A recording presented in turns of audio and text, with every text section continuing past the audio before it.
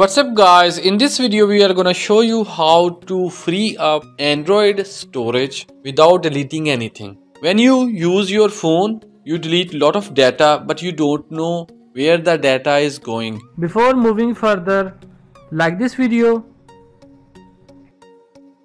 click on subscribe button and you have to click on the notification icon, click on all so you will get the notifications for all the upcoming videos. The data goes to trash or recycle bin but you don't know how to access trash or recycle bin folder to delete all that data permanently and you can free up a lot of space. So how you have to do this one? First of all we'll open our phone.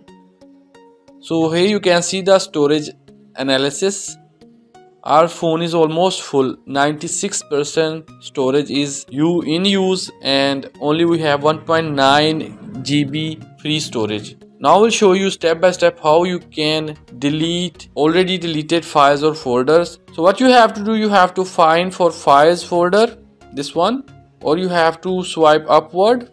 Here in search bar you have to type files. You will see this kind of folder. Open this one tap on these three lines. Tap on trash. And here you can see we have deleted these videos photos and applications a long ago. But these applications are still in trash or recycle bin. We have to just delete these files to get a lot of space. You have to select all items.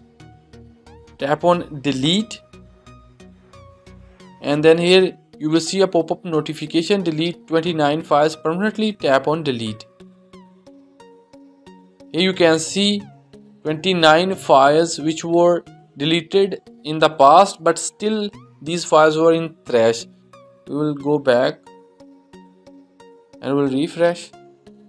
And here you can see we have gained a lot of space by deleting only the previous files which you have deleted in the past so in the same way you can also free up a lot of space without deleting any application.